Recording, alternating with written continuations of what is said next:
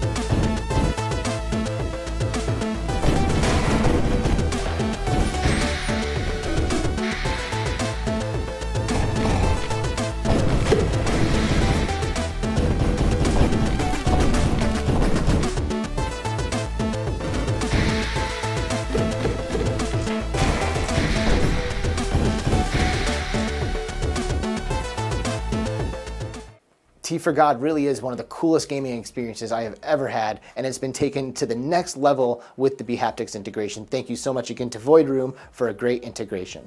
Now, if you'd like to join the bHaptics community, simply take a look at the bHaptics Discord. We will leave a link in the description below, and we encourage you to come and take part in all of the amazing conversations that happen every single day.